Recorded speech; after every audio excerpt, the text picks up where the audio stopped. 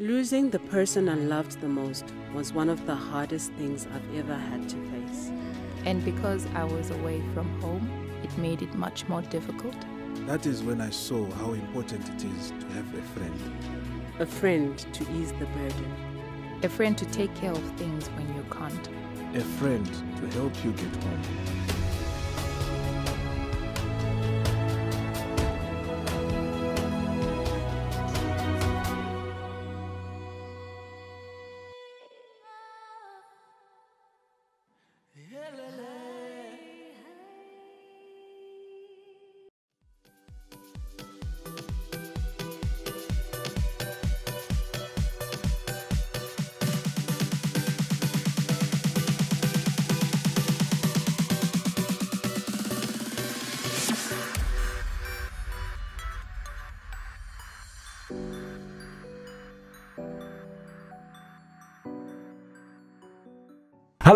People. Hello, good football fans. Welcome to another exciting episode of In Touch with a Legend. This is your favorite footballing show where we bring you a footballing legend in Zimbabwe to come here to share with us their footballing journey, their stories, shenanigans, success stories, lows and downs, everything else about their football career right here on the show, which is powered by Nyarazo Group. My name is Alois Bunjira, and in the studio today we've got a former Dynamos, former Cape United. Uh, let me start with former Cape United because former Cape United. He also played for Dynamos. Very few players in the country have played for both Dynamos and Cape United, and we've got one player here who has done that, and we would want to know as well. We want to know how it feels to play for the two big clubs in the country. We've got Ashley Rambane Pasi. Ashley, welcome to the show. Ah, you're welcome my brother. vaita kudzipwa naproducer wedu francis kuti uye panapa unga zvinetsa unga usingabatiki It was a struggle. I think he started calling me last year. Yeah. So I kept on telling him I'll come, I'll come next Yeah. week.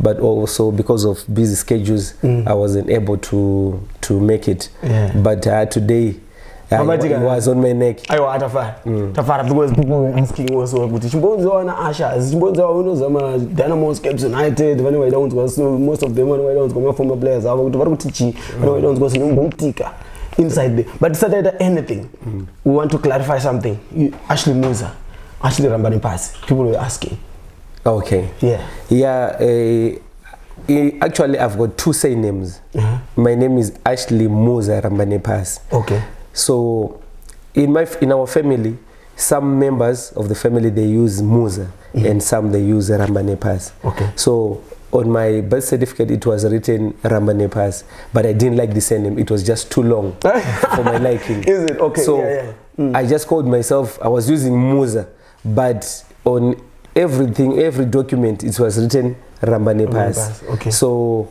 when I started playing football, I was just using Musa, Musa, Musa, Musa. So everyone knew me as Musa, Musa, Musa. Mm. But when it comes to my documents, they are written Ramane Pass.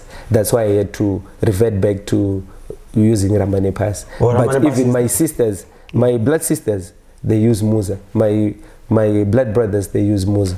oh okay Yes. but then you you you took uh, rambani pasi as the official Yes. It's official. Yeah, because a lot of people were confused. Vakafanana na Chidzambwa na Marimo. We also asked them as well kuti tidze kuti what Chidzambwa Marimo and people were getting confused. But thank you very much for clarifying that. But we know Ashley is a former footballer who was very successful in Zimbabwean football. But a lot of people they don't know kuti where did it all start? Kuti wakatangira kupi? Vanhu vanenge vaida kuziva because that's why we're here. We're talking about a former footballer's history. Tinonyatsoziva kuti zvakatangira kupi? Where were you born? Uchikurira kupi uchizoenda kupi? Okay. Uh, I was born in 1981, June, in Chitungwiza. Um, Ah, Hawazorwa areas. Yes, I, I was actually born in Chitungwiza.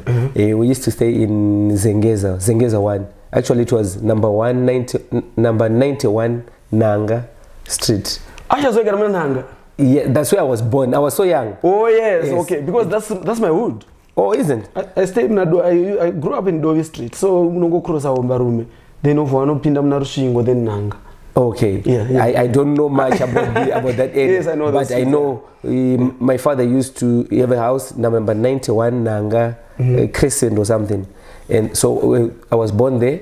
Uh, we moved when we moved to Highfields, coming from Chitungiza, I, I heard I was three years old. So oh, you still so moved when you were three. Ah, that's why you don't. Yes. Yeah, you don't. but I was born in Chitungiza. Oh, okay. Yes. Another homeboy.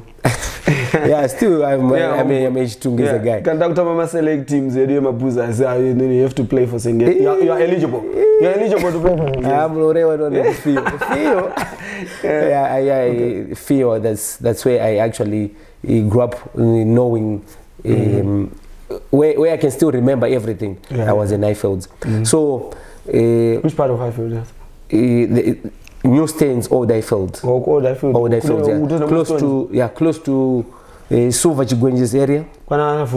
Vusimos, yeah. yes, yes, yes. Oh, yeah, yeah, we stay okay. in the in the in the same mood. So that's where I grew up, and I attended my primary primary education at Mbizi Primary School. Mm. It was just a walking distance away from from the house. Uh, I remember when I was in grade 4 Mhm. There was a guy. I, I I don't actually remember his name.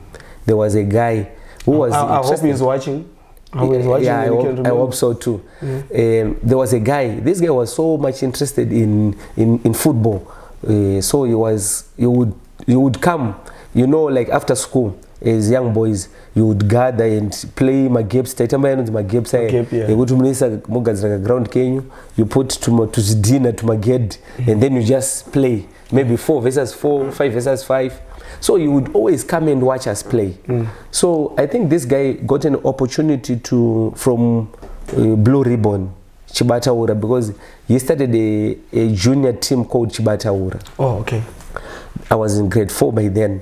So he took all of us. Wakangotora katimu kenyu kemagepi ka? Ndobva anokati ndo yachi under i think it was under 13 under 12 Yeah.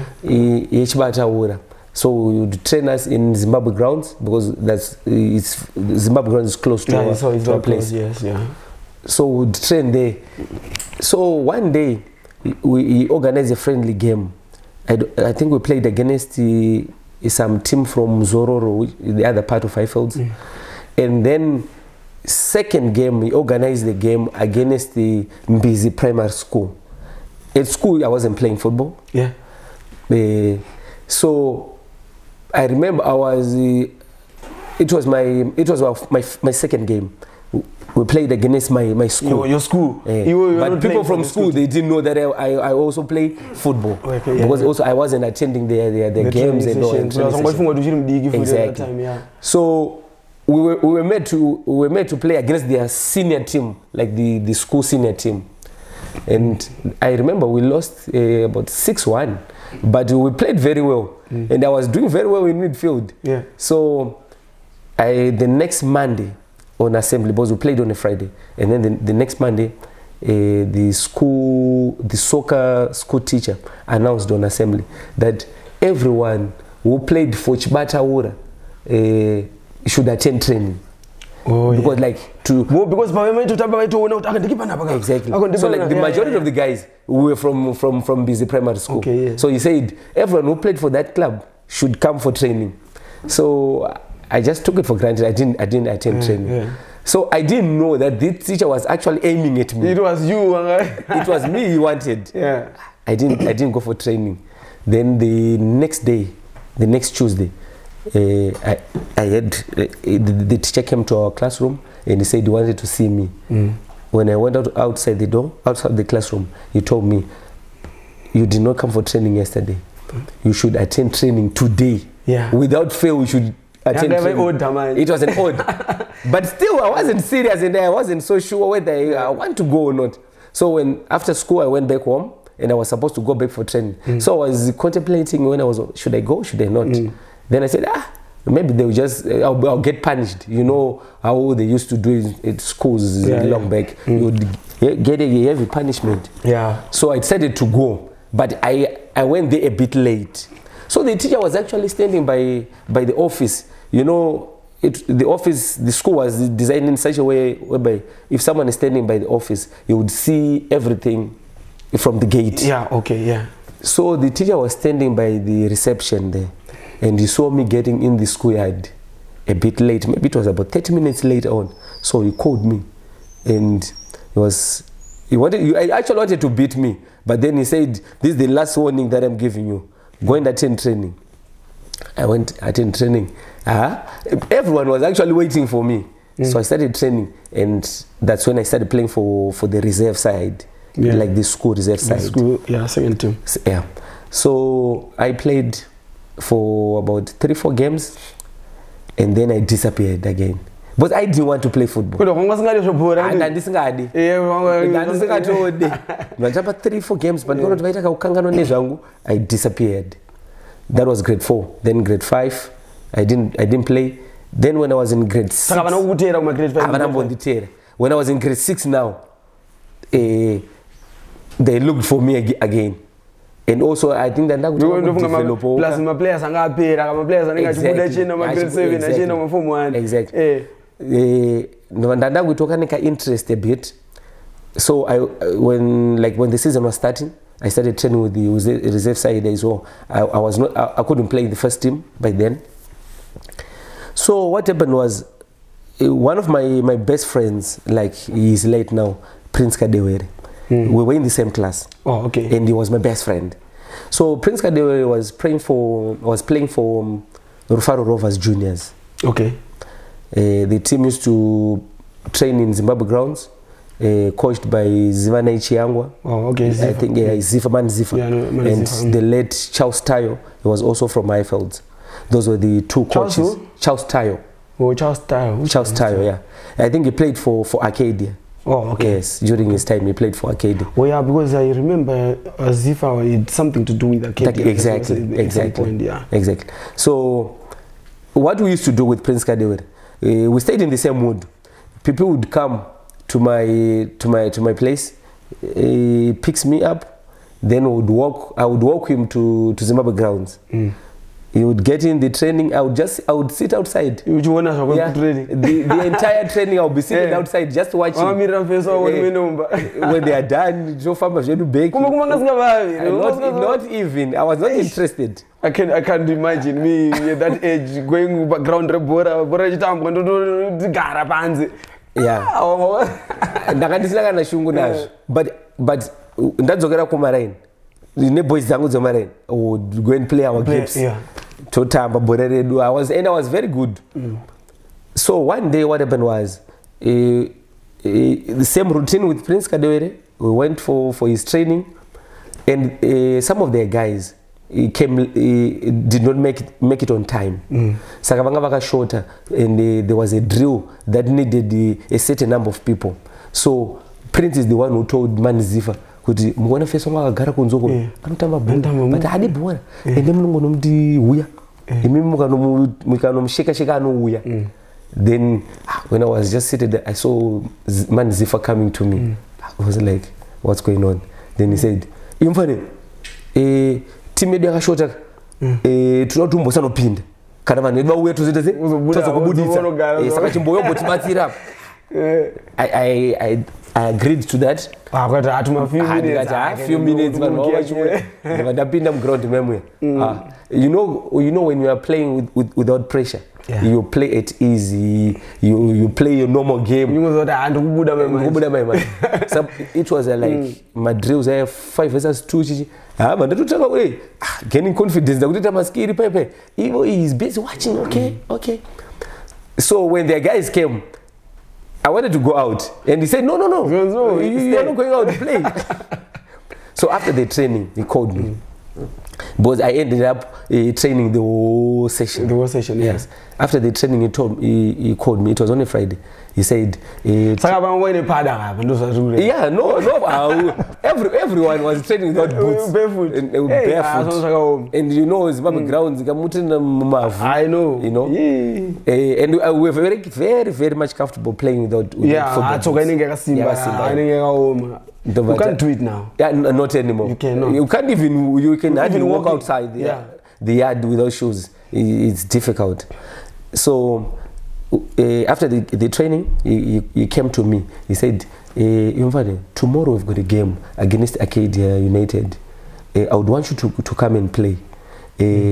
So he knew from Prince Gadio that I wouldn't attend. Yeah, yeah. So he said, you know what we're going to do? We, we are going to come and pick you from your house. Eish. iwe usabve pamba Eh, tinouya tichikupika to- because to- we've, pamba. we've got a bus so the bus will come and pick you up then i said ah okay so when i when i went when i went home i told my mom saka wait a minute. Saka rufaro rovhasi time iyoya yanga iri ya- yanga yatoo yanyamasoka Yes. nyamasoka was, was the Yeah, owner was the that owner, team already. yes. yanga iri mu, mu Premier League. premier league. Okay the first their first team was in the premier league. Okay. So and these were, were the juniors. Oh, okay. Yes. ndianani mamwe majuniors mamwe wakazoita nigiri watamba navo muthat team yerufaro rovhasi wange varipo at that time pawakasvikayo there was uh, rowan enzou there was uh, uh, prince kadewere. There was gerald mabara. Uh, brother to tino kadewere. uh, gerald uh, who, who else there was yebet yebet zimbeva he played for Yes, black aces. Zimbeva. there was tende mwarura he played for black aces dynamos Yeah. if you remember tende mwarura Yes. but those guys those were my senior guys. Uh, there was also who else? Captain mudzo magic farai magic fatso. He, he, i think he played for mambas. Yeah i know i know i know, farai gouver yeah. He, he was the best player in that, in that, that- in team that- in that under 13 Yeah. group. Because even prince he was playing for the under 15s yeah. Eh, so when I arrived there, I was obviously going to play for the under 13s. under 13 yeah. Eh, Magic Farai, and then there was also another Farai from Glenview. Eh, eh, those are the two best players in that team, Farai Gouver and the Farai, the other Farai from. so what from happened to farai gouver why didn't he, he what, what do you think? Why didn't you know he I, I, I personally think kuti chimwe chinhu chinokanganisa mamwe players eh, vaiva tinokura navo kumaraini vachigona sterek chinozovakanganisa kuti vatambe to kusvika kumalevels epadenga is because those guys they get too much attention from the coaches they get too much love from the coaches. They can decide not to train and the coaches Yeah. have got no problem with that. Vanotadza kusita work hard. Exactly. And also eh, maybe because vanhu vanenge vachiri vadiki vanenge vachitofunga kuti eh, kudiwa uku I, I will make it. Eh, usually think it's easy. it's easy. Yeah. And one thing that they will, they will stop doing is, is training hard. Training. because vanenge vachingoti aindogona Zvinoita. i'm a star uh, even even on my when it comes to my friend prince kadewere he was even if you ask uh, people of my generation everyone knew eh, from every junior club they knew there was prince kadewere at rufaro rovers.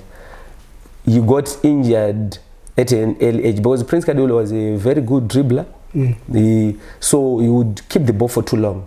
So obviously we were inviting trouble. Yeah, yeah. so he got an ankle injury at a tender age so that ankle kept on giving him problems yeah it, problems is- it, it standard his growth. exactly. So ndo zvandinoona zvinoitika kumaplayers anogona sterek aya but eh, i think that's, that was the same situation as well with fare guve. Akaita some injuries ari mudiki futi because these guys were dribblers. Yeah. Saka vanhu munozoti kunozoti kunotamba ne- nedarenti kuemu kwekwe vanenge tozoti kuna magic fatso toda kumutsika so Yeah, they would come for you. The exactly. time, yeah. saka people got injured at tender ages but those were very brilliant players. Thekuti i- zimbabwe yaiwana something out of those Un- guys. unfortunately. So vakazouya zokutora patini so when i went back home i told my mom Yeah. kuti ani mama ndatraina neteam yana pipi because pipi would come in. Pipi was like he was part of the family. yeah yeah. Eh, mama yana pipi chi but makocha acho anditi eh, there's a game tomorrow but vatona kuzonditora chi. So my mom was my parents were like eh, they they, okay they encouraged me to to do books books because i was very brilliant at school. So it was just school school school school school. So i pp knew that inini i could not convince my parents kuti ndakuenda kubora. Yeah, he knew exactly that they will say no. So what he did on the day like it was the, on the, in, the, in, in the morrow Yeah. like on the saturday now the day of the game people came to the house early in the morning. He told mom mama tikuenda naashishi tofa tapikwa Eh, tikutotorwa tese pana pane Yeah, basi. rakangwara. Tikazi, "Oh, ah, pasina 20 minutes tinzwe kaba bhazi raiti chirivhesa so wainzwa kasound kuti ti yeah, ti. tinzwe ti bhazi raita se rapagedhi Ah, mama bhazi raita se rauya. Saka inini asina maboots but saka wangoto special autorwa padheni utorwa then, eh, saka ndasi- inini asina mafootball boots. But my brother used to play rugby. My, my blood brother like my, my elder brother he used to play rugby at school. He was at lord morven. Yeah. so i took one of his old boots but angati majomba eh, Yeah, erugby you know kudhara vanhu vaipfeka majomba. Angati they were just a bit bigger yeah. bigger, i think they were about one two size bigger. Saka ndobva ndaisa ma, Mapepa. ma inner sole Eh, no like inner sole you put an, another inner sole inside. Ndapfeka chijombo changu chechi cherugby chisixtad then i went eh, mandaiswa pastarting 11 yeunder 13 yeah. Yeah.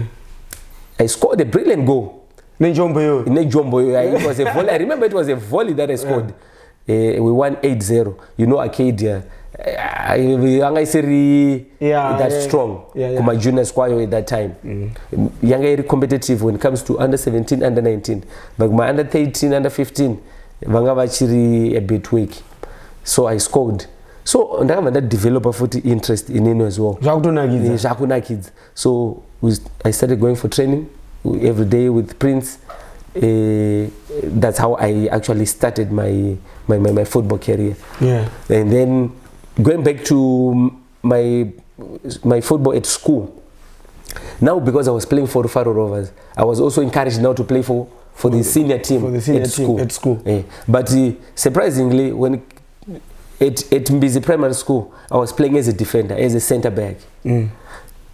what happened was eh, panga pane team and eh, ini ndanda kutamba kufaro rovers you know when you're playing for juniors wakudevelopa much faster mm. wakuve nefootball under, eh, football understanding iri, iri much better than guys from school, From school. because mateams ekuchikoro mamwe acho ndeyongoti ari interested ngauyo atambe Yeah. vongodzi uyu ari Even kana better. game racho rinenge chinonzi saumberi Eh, Yeah. saka team yedu yange we wanted to create balance there was, a, there was another guy munyaradzi taimti munyando he was our team he was our, one of our pillars in the team. Munyaradzi he was a item number five. And then pp would play in the midfield going forward. So pp ega would destroy teams. Yeah. So, eh, saka, saka inini and then our, there was some midfielders vanga vari bo ndobva tadai for to maintain balance kumashure kuchirega ini ndinotamba pacenter back namunyaradzi. Tinyatsoisa balance kumashure. Eh. Ndobva ndatanga kutamba as a, as a center back. Yeah. I think that's where i developed my, my marking skills the way you started uh, playing as a, As a center back as a back. primary school wanga wagrade ani manje i was in i was in grade 6 grade 7 now wakuenda grade 7 Seven. Alright, we're just gonna go for a break. When you come back, we want to know about the games that you started playing as a center back. Then we want to hear about your high school. Then going forward with your career. Guys, just go for a break. When you come back, we're gonna be talking more. We have got Ashley Rambarin Pasi, formerly Ashley Musa as well. Anza anangasingaide sene mekuti Rambarin Pasi anze ngekarebesa. If you're just joining us, guys, yes, we have got Ashley Rambarin Pasi. We're just going for a break. When we come back, we'll be talking to him some more. Don't move away.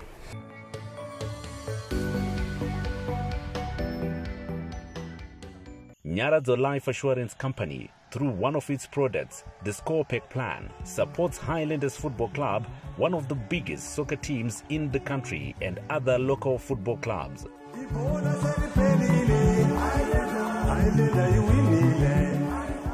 With the Scorepec Plan, not only will you score for you and your family, but for your favorite local PSL soccer team as well.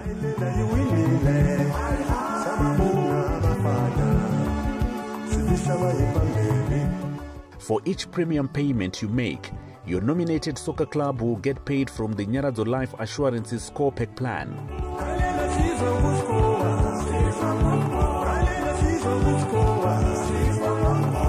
Make sure you get a score pack. Support Highlanders, Ipos or Ipos. When you get Scorpec, you're supporting Highlanders as a family and your own family. Every time you subscribe to Scorpec, you're supporting your family and Highlanders family. Get, Get Scorpec Scorpec today. today. Always support Islanders Football Club. Iposo, Iposo.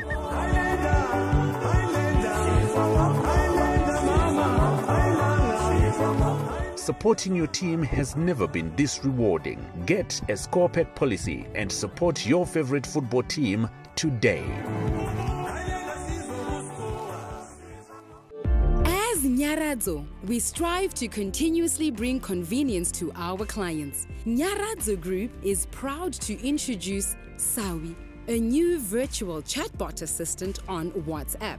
With Sawi, you are now able to interact with us from the comfort of your home and can be assisted anytime via WhatsApp. With life assurance products, diaspora products, applying and assessing your policy, payment platforms, claims information, and any other queries concerning payments, policy information, or products and services. Simply WhatsApp Sawi on plus 263 712 992892 or visit the link showing on the screen to register and start interacting and receiving notifications from Sawi on WhatsApp. Now, join in and experience a new level of convenience 24 hours a day with Sawi.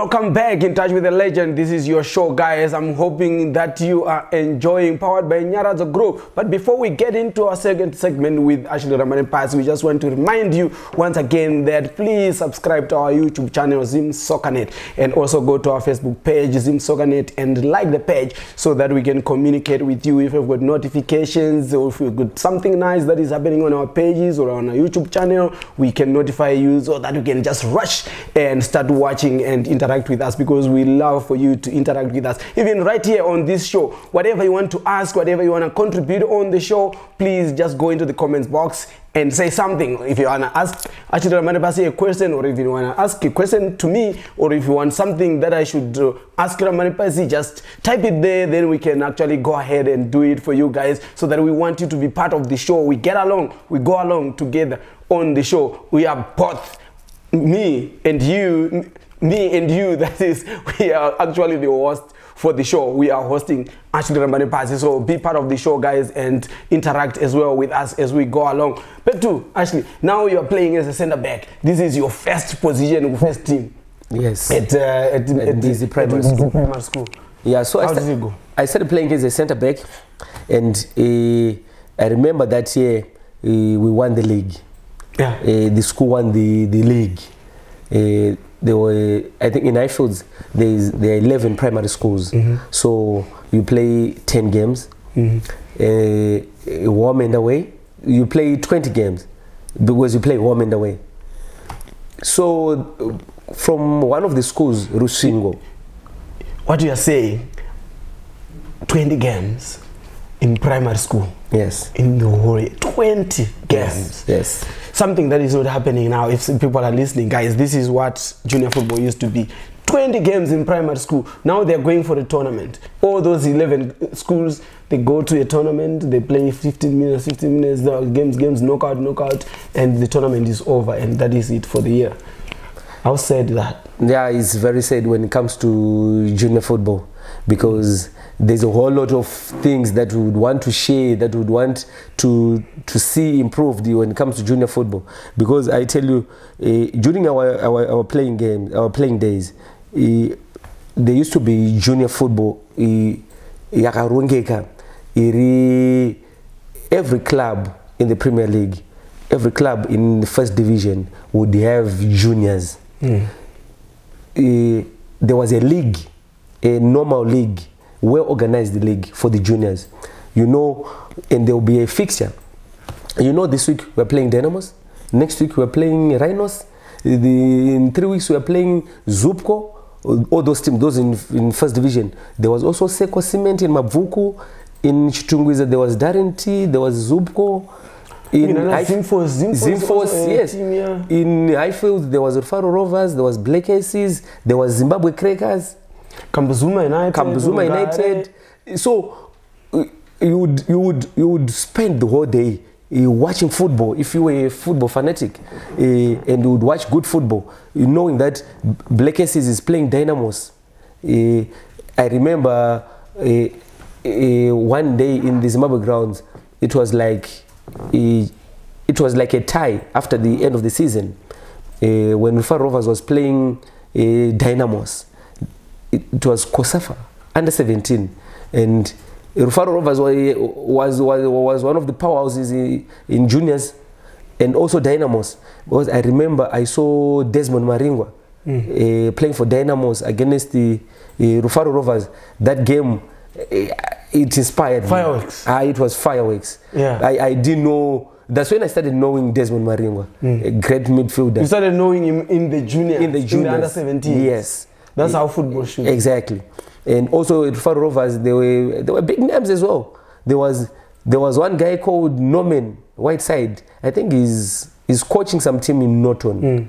Ah, he was one of the best midfielders we had. And at it- Rufaro Rovers. Anyway, it's, it's, that's, that's, that, we, we, we, we'll touch on that story later on. But let's get let's carry on with your with your story. You you won the league. You were talking about how you won the league, won yes. the league. Yeah. Yeah. So it, there was it, there was a, there was a there was a player uh, called Bindura at Roshingo Primary School. Yes. This guy was big. I think uh, uh, he was big even in terms of body and in terms of age. Okay. But he was at primary school. So this guy was a striker. He would score goals. That guy would hit the net. Mm. So everyone knew that there's Bindura there. If you're playing with Rushingo, Mm. there's, there was Magic Farai, my teammate at Rufaro Rovers. Achitambira Rushingo. Achitambira Rushingo. And there was Bindura as well. Yeah, this guy. Ah. So what happened was, okay, uh, I said, don't worry, I will, I will, I will mark him. Yeah. And every, everyone was doubting me because I was very short Yeah. and everyone was doubting. So when the game started, within five ten minutes, you pushed me aside, you turned, took a shot. It was 1 0. Yeah. And the, guys came to me and said, No, what can we do? I think we need to mark this guy. Let's, let's two guys mark him. Then I said, No, don't worry, I'll deal with him. Don't worry. Then from there, ndakamba ndakwinya manje. Yeah. Ndikati, I told myself, he's not going to play again. Again. Yeah. and that was it ndakamisa muhomwe it was big Serious? ndakamisa muhomwe We fly my tackles. They didn't want my- it was tactical. It, it was tactical and. I was doing both I was doing both I think that's why I started biting because, because you know when you are playing against these big guys with Yeah. big bodies obviously you need to be physical at times and uh, times you need to be tactical yeah. yeah. because if you want to go for power obviously they'll beat you, yeah. Eh, so he was not uh, tactically uh, talented he, he didn't have in, in good ball control at times he would control the ball and then the ball would run away from him Yeah. so So when he controls yeah. I'll just go in between him and the ball. Then I take it off. So I marked him and we, PP did his magic. We won the game 2 1. So I was uh, pronounced center center back. Yeah. But of the two, like you know, Kudara, one would pick and then we sweeper. sweeper. Sweeper the yeah. Mm. So Munyando was uh, was the sweeper. You know the main mark. and then I was the main mark. So that's when I started uh, marking. Yeah. Mm. And you just bite up, bite up. Yeah, I would bite. I would bite. I would bite. I would bite. Yeah. I would bite. And also maybe we considering the fact that I was also playing as a midfielder at Rufa Rovers. Oh, yeah. You know, you would have you would you would be able very comfortable to play the ball. To play, yeah, so at times would start, now we were encouraging our guys to start the ball from the back Mm. because we were very comfortable. Munyando was very comfortable. There was another guy left back, Masimba. I think he's now in UK. We called him Masimba Dinero. Mm. Uh, he was very comfortable as well. So we would start the ball and then we would play going forward. Mm. And then after that, I then moved to uh, secondary school. Yeah, yeah, yeah. I was about to ask. Form one, I, I was playing for the under 14s. Which school? Which I, school I you moved go to Eiffel one. Oh, Highfield one. It was still in Eiffel. I feel I want to iri kutuzine kwa Kwamachipisa. kwa machipisa kuseri kwana kwana people. Exactly. Because, and, and then Anna, Anna Prince, they had a house in Egypt. Okay. So now people also moved together to Eiffel one. Now people were staying in Egypt. Okay. In, in, not in old Eiffels now. Their house was just close to the to Yes, the school to- to- gate. Yeah, yeah. Eh, remember that one, yeah. we played for the under 14s. We actually, but the people when we just arrived at Eiffel one, he was playing for the reserve side. Wo- iye anga aenda pa- angari pamberi pako ne1 year no we were, we were in the same Oh, oh, stream yakafaenda but because he reserve was side. good Oh, okay, plus yes. pp had uh, a height Oh, yeah. so he was playing for the reserve side plus they actually exactly eh. as for me magic farai we met at this, that same school magic Haifuda fara yakazouya futi ko Haifuda ko one. uyu bindura I know Bindura. that was the last time I, I saw him. mataura kuti bindura futi vanoti aifiuta So we moved to FD one. Uh, form one, I was playing for the under 14s. So we there was kwaifu- kwa ku secondary manje kwaizoitwa inonzi- kwaizoitwa select after after league Yeah. yekupikwa guys from yeah. eh, so like in our group there was ifda 1 and ifda 2 prince edward lord morven epweth epweth I remember you, you, you were in the same dombo group ra as mwari yeah uh, those were the schools in, in our group. So after the after the league, eh, there was Ararai and George Stack as well. yes i remember Yeah, Ararai as well, yeah, in that group Exactly. So after the league, Baba Select were select eh, under 14. That select would now go and meet other selects from other regions and and other areas, and then for, for a tournament at Chechu. So I was fortunately I was selected into the into the select team. So what happened when we went f- to the tournament? Uh, they would vet now. Now they would use this vetting system yekugumura kuti auyu mudhara uyu ngabude Eh, ine maziso. vaingovheta nemaziso. Eh. so unfortunately on that day one of our goalkeepers lost a, a mother so you would know you couldn't attend. Okay. And then we were left with one goalkeeper. And that goalkeeper we, we had mbagumurwa achinzi amudharo so we had no goalkeeper now. Yeah. So ah, zvikanzi neboys toita sei hatisina keeper ndobva ndati aiwa ndoenda chi? Ndoenda pagedhi. Zvese Eh, because kumaraini kwa kwataimbotamba magaps edu aya Waimboenda futi ndaimbota yekutamba pagedhi yekuti mune muchikikirana Waungeti, mm. muchingobata. So ndobva ndaenda pagedhi for- on the tournament. Ah, during the entire game i was making good saves. And then ah, kumapena. Ah, kuziva kuti mapena haiti. Aibatike zvomai maiwe uri wakatiya kuti unyatsodhaivhira pana Eh. but ha unoona ragowa the one, one guy who missed the penalty but akatamba neteam teams from like they were coming from mufakos area. The, the one guy who missed the penalty andamborisevha munhu akatorwero zvake panzi Panzi, eh. Eh, but we lost. So it was a nice experience to being a goalkeeper as well on, on that in that day. So when i was form two so what happened was rufaro rovers yakamba yano collapse okay. Eh, ndomva then i moved to zimbabwe crackers. Oya ipapo futi pamazimbabwe grounds eh, zimbabwe grounds. They used to train in zimbabwe grounds. Eh, i was still in form one. Eh, ndobva ndaenda kuzimbabwe crackers. Kwamudarazimunya kwamudara zimunya ndarazimunya akabata bata maplayers ese Zvisingaiti. haana players inombobvura zvisingaiti Eh. Eh, n- ndo madhare ebhora Yeah. eh, mr zimunya. Ndobva ndaenda kuzimbabwe crackers unfortunately zimbabwe crackers haina kulasta long pandikamuvha ikoko. Eh, six months down the line yakabva majuniors aya futi anocollapse but i really appreciated something from from from zimbabwe crackers it was coached by uh, zozo mwanasanga. He used to be goalkeeper. The gmb yeah. zozo mwanasanga i think Yeah, I he's know, the I one who groomed tapiwa kapini uh, tendai tanyanyiwa all those yeah. goalkeepers who were coming from highfields Yeah, they actually went through his hands exactly eh, ndobva ndaenda kuzimbabwe crackers mva collapse futi in, in about six months down the line so that's when now now kuina nani that time zimbabwe crackers zimbabwe crackers kwanga kuna na uh, william william what william shayane wako he played for wanke and he also played for gmb there was musa kapini. He played he's late now. He played for gmb as well. There was tapiwa kapini. There was tendai tanyanyiwa eh, there was uh, kudzanai muzhuzha kudzanai muzhuzha saka tell me saka this thing yatenda itanyanyiwa na tapiwa kapini vakangobvira kudhara they vachingokweshana actually, they vadaro actually grew up together. Vachingokweshana vadaro exactly. They actually grew up together even ukatotarisa pavanogara. Eh. eh, vanotogara umwe pasera pomwe rende kusera Eh. they were Vangu- friends vangokura from- zvakadaro. exactly. Yeah, they actually grew up together. And tanyanyiwa tendai ndisekuru vangu Mm, Eh, oh, okay. baba vatendai tanyanyiwa is brother to my mother oh okay okay so he's my, he's my ma-cousin. second- yeah, he's, Yeah. he's my cousin Mm. Eh, zvadaro now i was in form two Mhm. uh, then i moved to capes united how did you move to cape Town? you just decided that i want to join cape united I, I, I, I was just thinking i sat down one day I was, I was like which team now do i go to?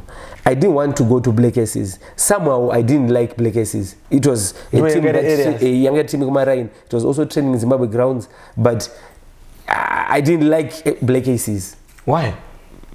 I think maybe character yemaplayers anga ariko plus also in highfields. Highfields ali maplayers ake uwebe ndiana avasiri kutime na test maketo anga asiri kuyesizere david maketo was at faro rovers wanga ari kufara rovers Maketo- yakabroka makabroka mese muri yakabroka muri komese Yes, Maketo played for Faro Rovers Juniors. Oh, okay. Eh, anga ari yake pa streamer yedu aitamba nana aitotamba nana pipi Oh, vavo okay, yeah. nana Gerald nana Hebert nana Tende Mwarura. Okay. Eh, Maketo was playing for for Faro Rovers by then.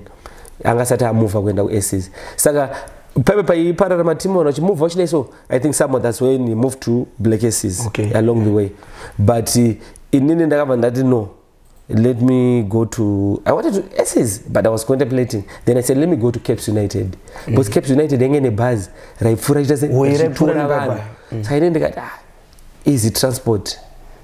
And plus ndaiona tichidzosa futi vanhu ndikati ah, plus capes united yaitraina just once a week. They would train on saturdays saturday morning. Ndobva ndati rega ndiende kucapes then i went with brian badza. Brian badza was playing uh, age group iri ahead of me because he was a, a year or two older than me. Then we moved together. From zimbabwe crackers brian from far rovers brian akaenda kuaces from aces ndobva aenda kucapes united. So we went to capes united at the same time. Mm. nabrian badza so eh, pakaitika zvinhu zvandisingafe ndakakanganwa on my first day when i arrived at capes united. Zijombo rangu raya zichita zirariya zvinaro handina kuritakura on that day ndikati bcause ndaitya raisekwaka nevanhu kunzi anoshandisa kuchita zerugby and what saka first day ndakangoenda ndisina mabhoots kumajuni it was, it was common kuti vanhu vanotraina vasina mabhoots when i arrived at rauton ah, bhazi rai raipfuura richitora vanhu. First time, first time ndakanomirira bhazi rai raipa close to southerton police station. Ndada kupinda mhandanzi na the late mundarapatsika uyu ndiani uyu? Ndiwani chichi mhandazongo vaingonzi aitamba kurovers ngauri apinde new player. Ndiva ndapinda mubhazi Because bhazi mamusingapindiki kuti wakangonomirira bhazi revanhu mamusingapindiki ende ndakatoita chaizvo kuti vanga vane mamwe maplayers avaimira ipapo. So i had to go and Unomira wait now. with them. Otherwise ndiri ndega ranga singandimirire bhazi rero Yes. ndobva ndapinda. Tasvika kutraining kwekuya e, ground raya pareuton varaidivide into four. Small pitches under 13 under 15 under 17 under 19 E- each age group ina coach wayo so ndakaenda paage group yangaenda coach eh, james vumbi he was the coach for, for the under 13s for the under 15s now i was playing for under 15, 15, Eh, james vumbi was the coach. Uh, he co- welcomed me very well. Uh, saka tichingoti tange kutraina mudharapatsika like he was an overseer now Yeah. for the whole juniors he, he, he saw that there was someone wearing a jean short without football boots and that was me. Then he called everyone. He said he, akaridza picture akati everyone come. So the- you know you know mudharapatsika you know mudharapatsika he was very short. Very short. Vanhu vese vaunganidzwa vakawanda he came and stood behind me besides me. Ari ku- ari ku- ari kutaura zvikanzi panapa tinoda vanhu vari smati vanhu vanouya vakachena hatidi vanhu vanouya vakapfeka zvakaita uyu uyu. Ndichinongedzerwa machirini saka vakapfeka vakadai. Unoenda panze. Vakuru andei panze. Ndabatwa veve ndaendeswa panze veve ndarabatsika vamwe vese vanzi back to their, to their positions. Ndiri panze veve but handakakwekuenda ka. I had to wait for the training kuti ipere. Saka ndakuenda panze paya paya and everyone like from you know from coming from rufaro rovers Yeah. and the zimbabwe crackers we used to play against the, each other with these guys from caps Yeah. so most of the guys they knew me and also we would meet as well playing for, for our schools Yeah. saka you know kumajuniors kudhara mune makutozivana Yeah, because zvakanyanya. bhora raitambwa Raitambwa still, zvakanyanya. kuchikoro majuniors Kuchikoro maitozivana, mukusangana, mukusangana saka vanhu yanga yango ashazi ashazi ashazi ashazi saka mu- mudhara patsika akashamisika kuti munhu kuzika kudai kuzikana-zikana kwaari kuitwa nevanhu vake ava kava there must be something in this boy. But he didn't want to show it. Ndobva asiya zvakadaro. Ah, training yaitwa yapera. Tatime yekuenda kumba manje he called me. Ndobva ati ashazi yakuno ndobva adaidza there was a guy kuma under 15 ainzi daud mabola and this under 15 caps yange ine vanhu vakazotamba bhora. Eh, there was um, austin mandava leonard sipa. Thomas sheshe. Uh, moses jackson the current chicken in captain. Yo, he, he, he was a twin gun. Those were the two gunmen with leonard sipa. He was a striker. Moses jackson leonard sipa thomas sheshe uh, boston gondongwe is late now. Austin mandava ozio andrigu uh, seti they were brothers. Se- Maset? uh, setwari rambi and sani Oh, okay. from Bari. Uh, there was also who else was in that team? Jimmy Chocha, katimu. Charles Makaranga. Charles Makaranga? makarata Makaranga. makaranga wopamwe na Eh, makaranga. And uh, the star of the team was uh, Daud Mabola. yes yanga yasimba Yanga ikasimba ah yanga ikasimba like pa, pa caps juniors pa, pa, group, pa group it was one group that was regarded yaitariswa kunzi this group is going to produce Yeah. something so that was my age group so he called the captain now daud mabola akati mndara ndidaidza pepena daud mabola akati mufana uyu ndiani uyu? Achibvunza daud Eh, mukuziva here gemu raya ratikatamba kumazombe grounds visa zurufaro rovers? Munhu akatinetsa kauya uyu. Ndiye kauyu zvikanzi ndiye here uyu. Oright next week udzoke. But upfeke zvakanaka. Ndovanati ah thanks mudara ndaenda saka eh, i remember the following weekend. Mama wangu akanga nditengera ma zvimatenda food so. Chitenda food chanchiri chijombo Eh, chaitonge chine mastuds so fro- i think from, from these chinese shops chaitonge chine mastuds pasi so. Because six stud yangu yanga yanga isaiti yanga yavhurika because you plus know, pareto noi paimhanyikere ne6 pam pasingaiti Eh, yanga yaparara neumbomhanya kumazimbabwe grounds ka Yeah. hard surface chichi ndobva ndatora chitenesi changu chaichi avaranga wakasimba kuti pamazimbabwe grounds mufana unotamba haumbozvinzwa manizi anenge achiri akasimba ndabva ndatora chi- vandaenda padeni ndatora chitenda futi changu chacho vandatora reza. Vandanyatotanga kuchishepera kunge ku- kuti chiite chiloka. Uchiti lokati chichisiya enkochi panze. Zvaibvumirwa patenere yakatomusikazwa but ndikudanga kutamba kabhori Eh, eh, kucheka bhutsa ndatenga saka what was happening was uh, paden uh, they were not so much into football ana moms ana wangu mudhara wangu zvi- anga- he didn't pay too much attention. But my mom was very strict on me. Zvebhora bhora no gwashi uh, saka knowing that caps united yaitraina once a week on saturdays my mom had a marketplace in mbare. Eh, taitengesa mabhero ehembe kumbare saka on saturdays it was my duty and my sister like my, my late sister ari my she, was old, old, older than me. my, she's late now. Eh, would go ku, ku market. Saka taimuka makuseni toenda kumbare totenga ticket rekuti mukwanise kunotengesa. You would buy a ticket that was the system. You pamusika. and then moenda kunowanisa zvinhu zvenyu. Because my mom was a tailor. She was a fashion tailor. Saka vaisiona hembe. Saka would go and sell stuff yani yamama eh. every saturday kumbare saka i organized with my sister ndikati no what we're going to do? Ini ndomukira makuseni ndonotenga ticket. Then ndobata place yedu yatichitengesera iwe paunouya ndounosara uchitengesa zvinhu. Indombomanya kutraining. Okay, yeah. ndonotrainawo by one ill be back. From there iwe kwanoda kurelaxa inini ndinde ndapatable full time. So we used to do that every saturday. My mom wasingazivi ndikuenda kuchi? Kutraining. Training. eh, second week ndaienda paipe nechitenda futi changu.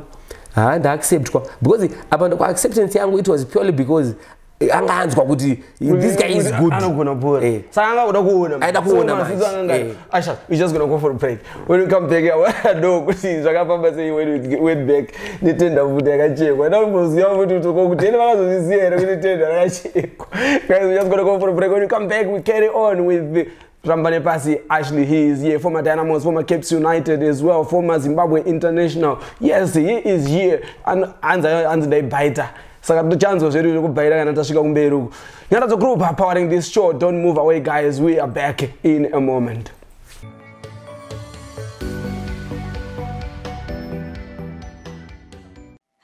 Losing the person I loved the most was one of the hardest things I've ever had to face. And because I was away from home, it made it much more difficult. That is when I saw how important it is to have a friend. A friend to ease the burden. A friend to take care of things when you can't. A friend to help you get home.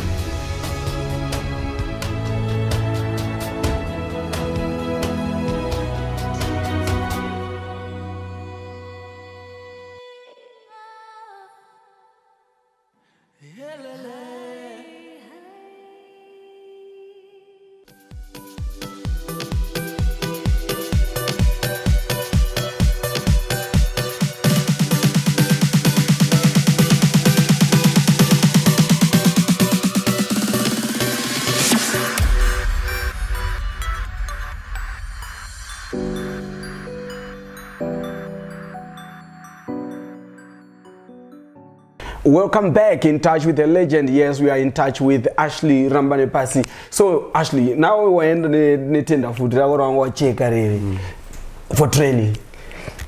ndini ndasvika patraining paipe netenda futi rangu. Andiona mudhara because ndandatsvaga tsvaguka zvekutrenesa zviri pane majezi mamwe ati atakapiwa kurufaro rovers paikaparara paipe so i had a jazz and a short Eh, mandatsvagawo masocks ebhora ari long Kopa wamboenda pekutanga wakapfeka jean. What was going on with you? What was going on in your mind? Ah, zveduka zve- zveupfana zvekuti zvekuti tata chero tamba bhora kumaraini Eh. unogona kungotamba chero neshoti Unobuda wabuda wabuda. you know but it was different now eh, ndasvika paya paya ndapinzwa pa- pa- pagroup rangu rere saka when it comes to, to training eh, i was always a, a serious guy zvekuti it didn't take me three four games kuti vanyatsoona kuti munhu ikoyo saka after about three four games i was made the captain of that group Is it? yes Oh, okay. ndakabva ndazocaptaina that, that, that, that group under 15 uh, from there then i just wanted i, I went uh, through the ranks uh, at caps united From under 15. from under 15 i went to under 17 Under 17. Who was coaching the under 17s at that time? when when we were playing for the under 17 it, it was like the, the following year now Yeah, yeah. so okay on, uh, the other thing was when I, when I when I was made the captain then caps united started paying for my for my fees Oh, that was good. Yeah. Uchiri kwa field you go. Ndiri kuhighfield then i think that was the last time my father paid fees for me Brilliant. at, at, at form 2 because But why, were they doing it for everybody else? at Tambe Babu? I, I, I, I would think so i was not i'm not i'm not quite sure but i would love to think so kuti maplayers aya vanenge va- vaona kuti eh, Kuti apa eh, ine. vaibva vangobatira Yeah. but eh, also i was i wasn't coming from a, a, a i was coming from a christian poor family of course they could afford my fees but Yeah. caps yangoti But let's just take ipapo, off, yeah. eh, Yeah. take off because i remember at, at some point ndaibhadharirwa ne vaiti chi social welfare Social welfare. Oh, okay, social yeah, welfare yeah. was also paying for, for my fees. So when I told them that social welfare is paying for my fees, that's why they said eh, we will take over. Okay. Eh, ndobva ndatanga kubhadharwa necaps united form 2 Yeah, chimwe pa, pa ground re- repa repa Highfield I won. Uh, I, ho- I hope uh, some some some guys repa Highfield. Rakazogadzirwa. The soccer field. Because mamuri musango kameme. Chii chaitika pepe. Maita mai raitoroveka here bhora meme. Because takaenda ipapo when I was when I was still at Prince Edward we played against Highfield I won. Ipo pepe. Eh. Ah guys ah ra- ranga riri chonge rine churu chiri mukati, neruware, Eh, pamwe nedombo. aya, zvaka- rakazo- vakazogadzira Zvakazoitwa po. Yeah, zvakazogadzirwa And of course it was not the best of pitches but eh, ranga raground rekuti rinokwanisa kutambika Okay, I just but teams like prince edward lord morven those who had better pitches when they come to, to ifields We uh, struggled. obviously, obviously you were going to struggle We and struggled. uh, we used Yeah. to hammer those teams Hey, we struggled. Takawina, yedu, taka- takawina. I think we won about we won 3-0, yes, but uh, it was it was a struggle. It So I just struggle. wanted to, I just wanted to hear kuti rakagadzirwa kana ranga risina kugadzirwa naida mandakumbira ndiri panapa guys kuti ah guys ground rere ngarisotwe Ah, no, Alright, so so they were paying for for your fees. for my face yes Mm. we vandiba form too i think from there it was now a journey moving through the ranks at, at caps united from i moved to under 17 and under 17 by then yange yakucoachwa na na joe mgabe he was now a Oh, player. Joe anga- I- I- he was like he was going towards the end of his career. Anga coach futi under 17 at the same time achitamba ke ku senior team. Uh, I remember one day, uh, Caps juniors were playing against Dynamos juniors at Rauton. And Derby. It was a derby. Yeah. And also, our first team was supposed to travel, I think, to Blawayo. So, uh, you know, you used to come, you you were playing. I think if you were there, if you were not, if you were still in, in Zimbabwe, I remember uh, people, they would meet at Rauton Yeah, we used to meet at Rauton. at that time. Yeah. So they came, our senior, senior, senior guys, senior players from the first team, they came earlier on and they were watching the game. yeah. And I scored a brilliant goal. I remember Stephen Kwash was the Steve Kwash was the, the coach. The coach. He was there, and since that day, that's when he said this under 17 should be promoted to be the reserve side. Mm. So I never played for under 19. Oh yeah. eh, under 17 yedu yakabva yangotorwa yakadaro zvikanzi iyi timi ndo yatinoda kuti ite reserve side mm. whoever is going to come from the who's going to be dropped from the senior team would join these guys to play in the reserve side mm. this is our reserve side now that's how that's when we were made the reserve side. And uh, that was that was under 17 zvikanzi nabla steve from today this team ngaimba yabhadharirwa gym. Because we were small. Yeah. ngaibva yabhadharirwa gym eh, so tabhadharirwa gym kuempire empire gym Empire Gym, yeah. so ta- tatine madays. Case, yes. Yeah. we would go for gym tuesdays and thursdays and then from there takatanga kudevelopa Which was manje. good, yeah, yeah. tanga kudevelopa in terms of strength eh, in terms of power it, eh, it was now football now mama ne business. focus. exactly kusakwa muri kuenda. exactly and you know uh, reserve side yaibhadharwa i Yes. remember by that time it was 120 dollars Eh, and we would win every weekend So man, you Saka, were getting imagine paid. You were now getting paid every week. and you are in form 3 Yes. you are getting paid 120 dollars Wait, what, what are you doing with that? i money? remember i remember like i told you kuti eh, mama vangu vanga vasingadi bhora Yeah. ende kutraining ndaenda zvechitsotsi saka patata kudevelopa iyo ndakutamba under 17 caps united yanga yakutipa mabhutsu Okay. yanga ine mabhutsu eteam yekuti when you get patraining munopfeka mabhutsu iwayo even magames and then also I eh, ndakabva ndazotenga angu my personal but i could not keep them at home because of my mom Yeah. mabhutsu angu aigara Iwe na- watenga unga watenga kupi mabhutsu. Unga iwana kupi mari kuti. ndandakutamba reserve side Oye ne mari mari save. Mari Oye ndo save. pangwa kutabula uchitamba ne ne okay. yeah. exactly Na- ndakatenga ma- mabhutsu angu ndomva nda mm, nda- saka mabhutsu ena asingachengete kumba Saka kwasvika ku reserve side vanhu vekumba vasati vakuziva kuti Vasingazivi. Hey. they did not know mabhutsu angu Ku reserve? Eh, reserve side Eh, eh, mabhutsu angu aigara nathomas svesve Yeah. ndiye aigara nemabhutsu angu. I think agara nawo for almost a year. Inini ndaingoenda ka chonge ndikuenda kumarket Market.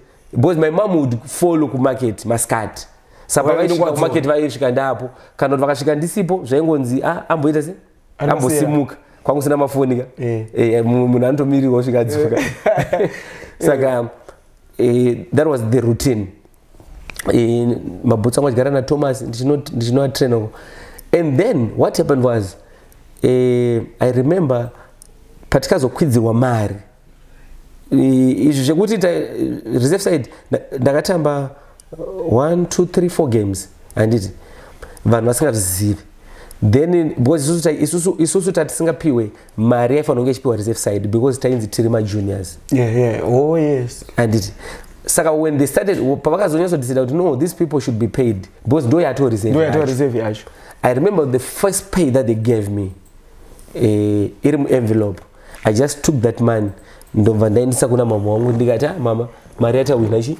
Kubhora mari yauya nani time iya yedu isusu yembo yauya namr wanga wachiri ndiwo wanga wachiri uya nebag. ya fred mukwesha aneka Which year was this? Where, that was that, that was in, is it 97 Saka, we were still there. Also, you were still there. You were my, my juniors Ah, that time I was still there. Yes, I okay. was still there. Yes, yes, yes. Because Mr. Ngwesha ndo wewe Ine- ine- ine- ine mari Saka vaitoya zvesine mari Ne reserve. reserve I remember side. vaitoya zvesine Ne mari at that time. yes. Yeah. umva topiwa vandaenda i took my envelope to my mom vandati mama mari yangu yandawina chi kubhora iyi bva vavhura moms ah, 120 dollars vaida kundipa imwe vandati no inini i just need money for transport.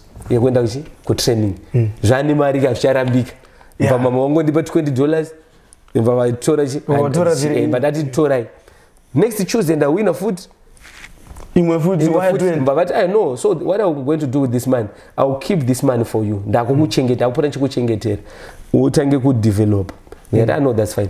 And imagine kuti kuchikoro i would use the whole week i would just need 10 dollars saka ti- tanga uchitenga makendi ndichitotengera neshamwari dzangu zoti shamwari dzangu dzinogara dzichindiseka dzichiti ah, because uh, there was if you know the late shepherd surgeon Yeah, yeah. he was at prince edward Yes, I know Shepherd He- Surgeon, yeah. his younger brother Yeah. he was my friend Okay. we were in the same class uh, in the same stream as well anogara achindiseka lazarus surgeon achiti waiti ukaona ashaza auya nekaenvelope kake kari apa? Eh. woziva kuti aiwa takanaka tine takanaka wiki rezi Eh. saka it was a lot of money. Yeah. wore a lot of money. Eh, eh, the following week yacho kwangu sina magames so i was at home and it was on, uh, on saturday. Ma- mama wangu vandona ndakagara padeni vavatuya kwandiri zikanzi "Ah, koiwe hausi kuenda kubhora ndakaseka ndikati ndikati bhora ramutapira iri, Ra- ramutapira." rabhora, saka like it was like a permission now kuti Yeah, kuti zvabvuma eh, manje. now you can go. One license. Eh saka eh, ndava ndati playing for the reserve side when i was i started playing for the reserve when i was in form 3 Yeah. then form 4 playing still playing for the reserve side kuchikoro manje kwanga chingorova futi kuchikoro? Kuchikoro u- when i was now playing for the reserve side in form, form 3 i started playing for the senior team. Because pachikoro pedu panga pane a level. Yeah, yeah. saka ndakangotamba under 14 and 15 when i was in form 1 F- form 1 and form 2 form 3 now ndatanga kutamba first team. Eh, nda- nda- ndakutamba reserve side caps. Yeah. i was actually now a senior guy pachikoro in terms of football. Nda ndakutamba mufirst team kucaps i progressed same position kuchikoro neku yeah, now I was playing as a midfielder now. Yeah. Like high school, I never played as a defender. Yeah. I was just playing as a midfielder. But I was an I- was an offensive midfielder. Yeah. I would play either on the right or on the left. Number 8 or number 10 But not number 8 ka number ten. Ndo maposition andaitamba because I was an offensive uh, midfielder. Uh, defensive midfielder it's something that came later on with chelsea um, but that's how I, I progressed through the junior ranks at caps united. How did how did you how did you get promoted to the first team?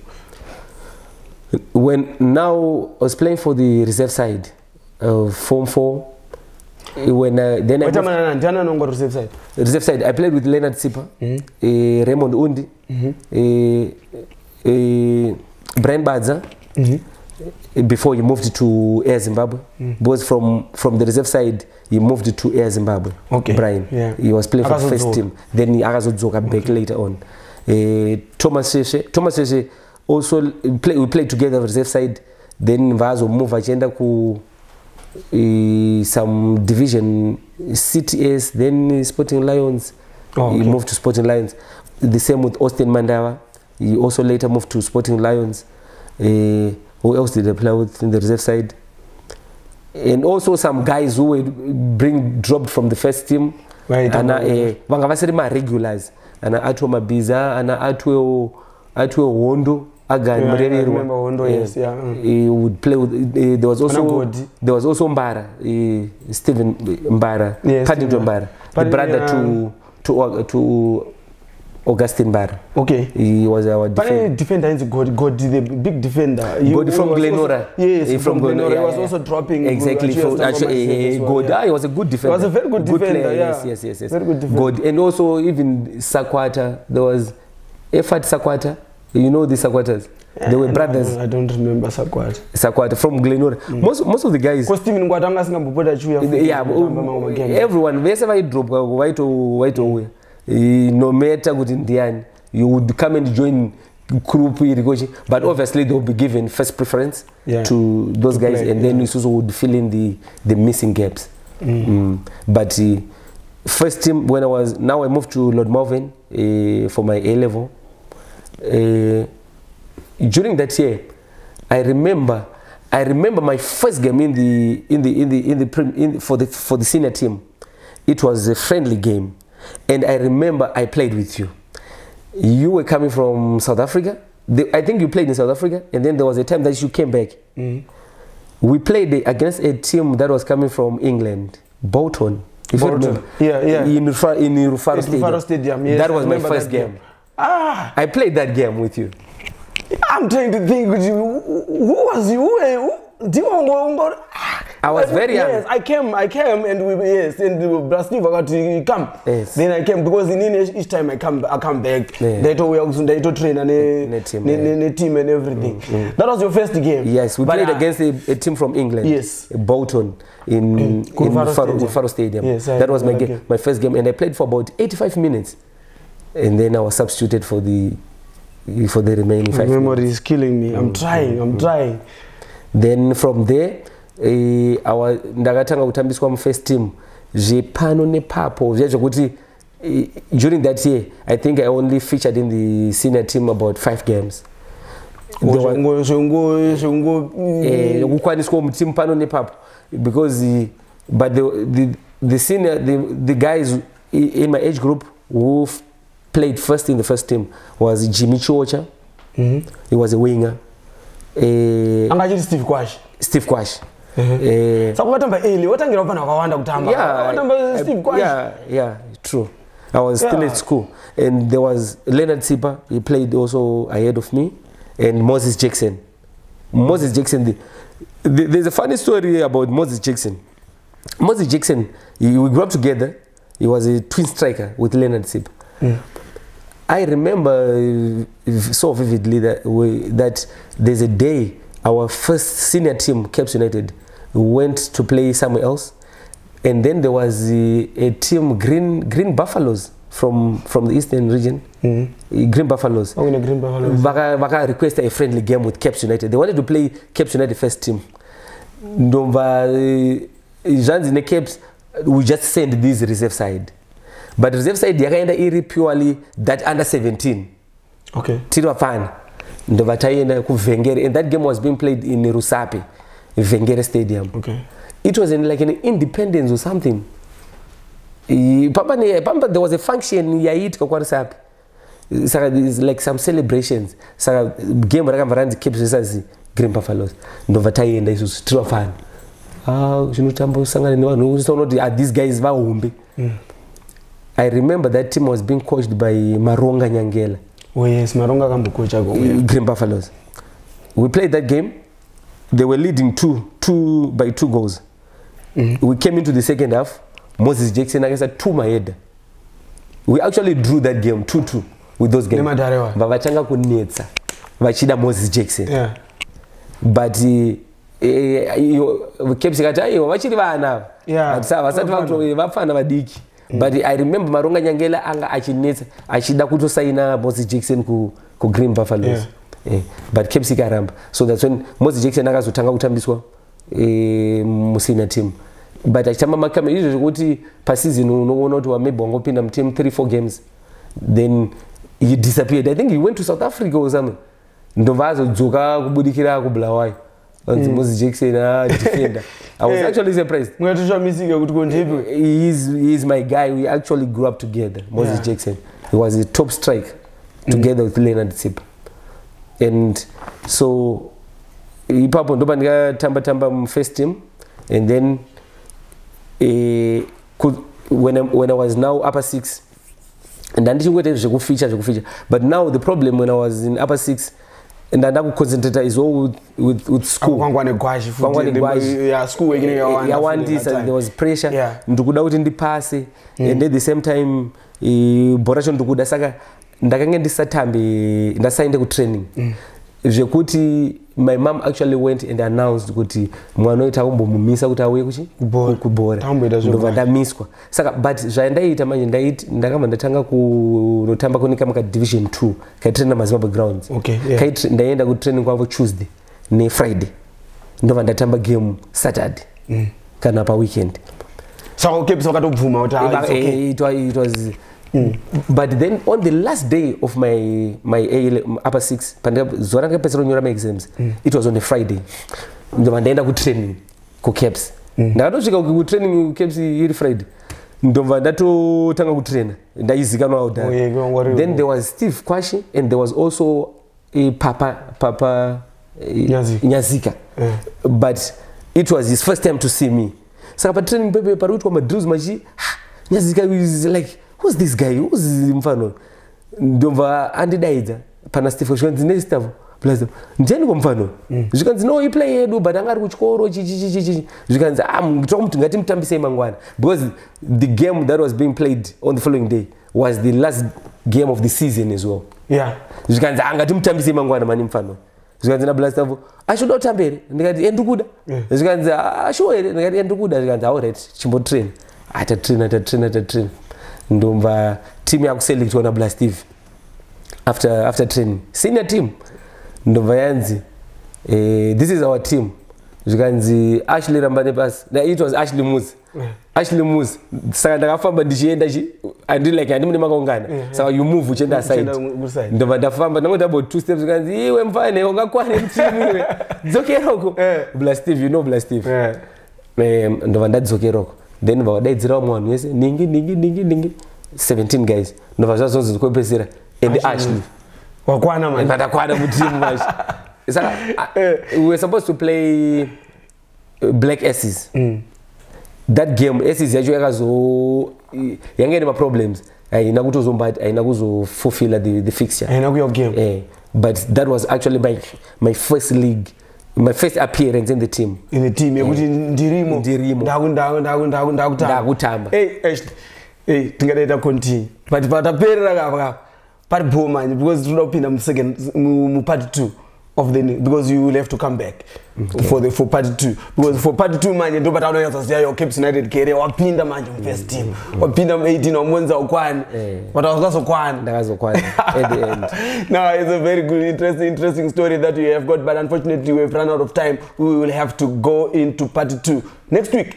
Definitely. Next week. Guys mangozoona time yacho yapera tatusvika papart 3 nyaya yacho yakareba. Achiri muza has got a lot a lot of history to talk, to talk about to tell us. Saka unfortunately we have run out of time. We have to go. Time yaramba. Saka actually we will have to come for part two next week. I know amweni kwakucomplaina ah guys ah guys but ndo zvazvinoita guys. But he is here. He will come for part two. You promise handit yeah next I, week. I, I promise. And also and also i think it's just it's just your, your lucky day. Since uh, uh, francis was chasing after me since last year and i was just giving him promises that i'll come i'll come i'll come. But today it's just your lucky day. And also you are the first guys to see my new look. Ah! Yeah yeah yeah yeah. That's good yeah. Thank you so much. I hopefully next week i'll, I'll, I'll be able to attend. Definitely. Definitely. Thank you thank you very much. Guys uh, this is ashley muza rambane pasi. He was here telling us about his footballing journey. My name is alois bunjira and this show powered by nyarazo group. We are back with ashley muza rambane pasi next week. Don't miss this show because it promises to be explosive because this is the show that we are now talking about his career in the zimbabwe premier soccer league starting with caps united akambozoenda kudynamos akazotambira kunational under 17 under 20 national senior team saka all those they are in our part to make sure you don't miss this one. But for now we are out of here. Enjoy